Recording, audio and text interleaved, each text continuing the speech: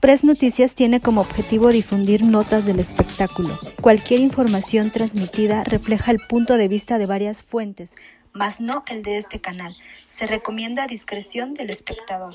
A través de su cuenta oficial de Instagram, la nutrióloga Monse Barojas decidió terminar con la polémica de una vez por todas, dejando claro que el diagnóstico de los alumnos es deshidratación, señores, y en algunos casos COVID, lo que para ella descartaría cualquier relación con el régimen que les puse la semana pasada. El fuerte enojo por parte de la nutrióloga fue evidente desde sus declaraciones el día domingo, por lo que actualmente se encuentra buscando terminar con cualquier problema con los fanáticos de la academia, deslindando todos los asuntos de salud de su trabajo.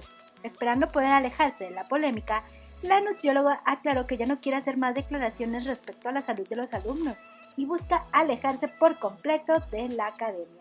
Lamentablemente, lo que parecía como un simple cansancio después de varias semanas dentro de la academia terminó siendo un fuerte caso de COVID y aunque hasta el momento solo Ruby salió positiva a la prueba, los fanáticos del programa aseguran que los falsos negativos podrían estar rondando en los pasillos.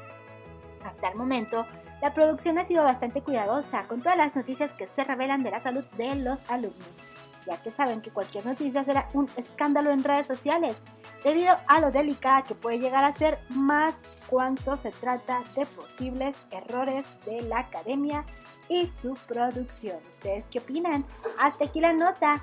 No olviden dejarnos un comentario, activar la campanita para que estés informado. Express Noticias, tu canal.